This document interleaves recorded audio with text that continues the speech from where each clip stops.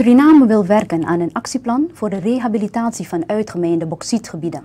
Dit moet geschieden conform het Kalina en Lecono-vonnis van het Inter-Amerikaans Hof voor Mensenrechten.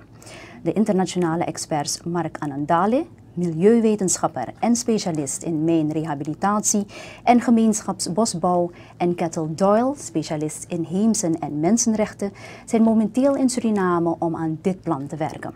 Ze worden bijgestaan door de Vereniging van Inheemse Dorpshoofden in Suriname, FITS. Deze vereniging is als Surinaamse counterpart in deze missie, die door het Bauxiet Instituut Suriname is gevraagd om te assisteren bij het opstellen van het actieplan. Woensdag jongstleden heeft de delegatie Edgar Dikan, minister van Regionale Ontwikkeling, geïnformeerd over de missie. Anandale en Doyle hebben tijdens deze missie een veldtocht afgelegd naar de Weenhillsmijn in Marowijnen.